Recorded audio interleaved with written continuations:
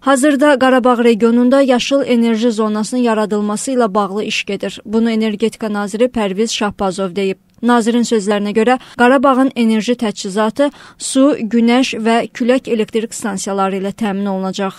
Dövlət başçısının tapşırığı ilə Qarabağ regionunda ə, yaşıl enerji zonası üzərində hal-hazırda iş gedir və ə, nəzərdə tutulur ki, bu regionda demək təsis edilən enerji mənbələri demək yaşıl enerjidən ibarət olacaq. Bu ilk növbədə su resurslarımızdır ki, böyük demək hidroelektrik stansiyaları, o cümlədən bir çox sayda kiçik su elektrik stansiyaları və eyni zamanda hal-hazırda biz Qarabağ regionunda günəş və külək elektrik stansiyaları üzərində də iş aparırıq və beləliklə ə, demək Qarabağ regionunu ümumilikdə ə, yaşıl enerji mənbələri ilə ə, mənbələri vasitəsilə elektrik enerjisi ilə təchiz etmək niyyətindəyik.